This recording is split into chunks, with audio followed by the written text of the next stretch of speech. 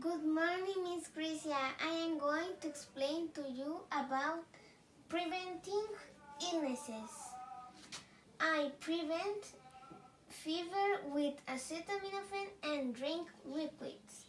I prevent stomach and headache pain with doctor's medication.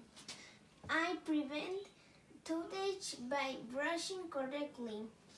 I prevent coughing by wearing a mask. I prevent COVID by getting vaccinated and making good use of hand washing.